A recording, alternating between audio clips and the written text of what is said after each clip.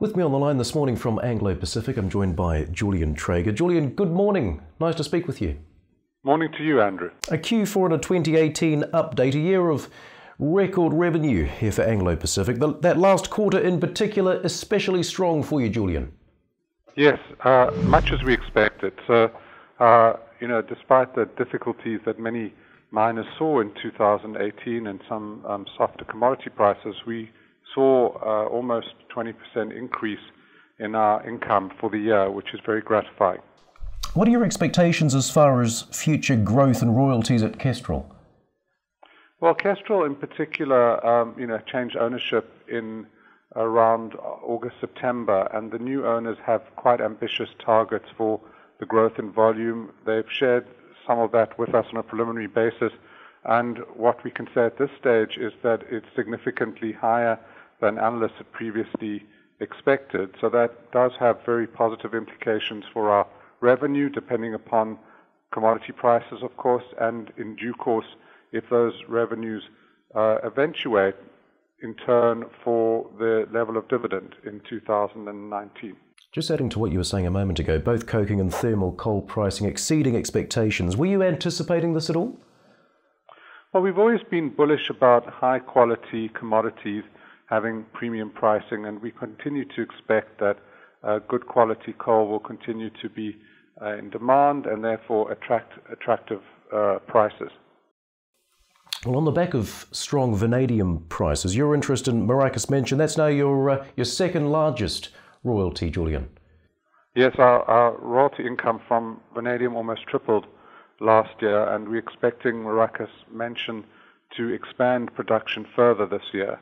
Uh, obviously, the outcome will depend upon vanadium prices. It's interesting that China recently regulated increasing um, vanadium standards in, for building, uh, but we'll have to see how the price evolves during the course of the year. But it's good to have a um, new material used for batteries um, as our second largest royalty. But what about your expectations? What do you think is going to happen as far as vanadium pricing is concerned?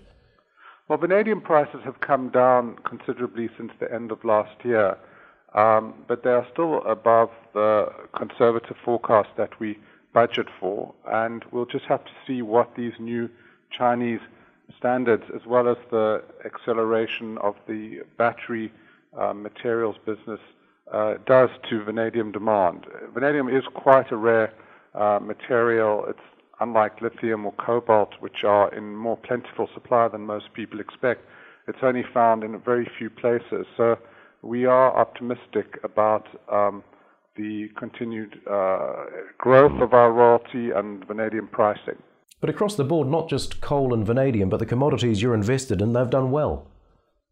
Yes, uh, I think we have, um, and we are developing, um, Andrew, a track record of trying to intelligently pick commodities which are going to perform better than market expectations. And, you know, we are um, showing significant year-on-year growth for um, the five years since I joined the company. In my first year, we had income of 3 million pounds. This year, our income is close to 50 million pounds, and we expect in 2019 to see further considerable growth in that number. So that comes in part from, you know, doing careful due diligence uh, and having a strong team around you, but also uh, from anticipating which commodities are going to do better than people expect.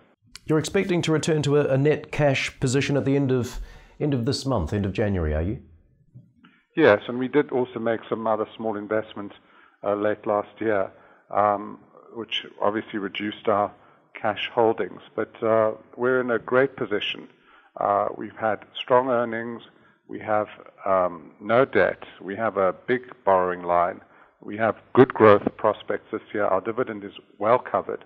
And the mining sector is increasingly short of capital and therefore full of opportunities for us. So the imperative now is to um, hopefully, with a share price that reflects the fundamentals of our business, to grow um, the company uh, through borrowings uh, and grow the top line and become a much bigger uh, entity, which is what we deserve.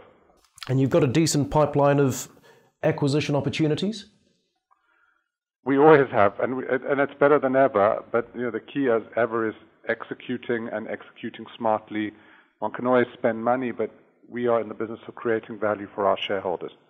Julian, good to speak this morning. Thanks for your time. Always a pleasure, Andrew. Thank you.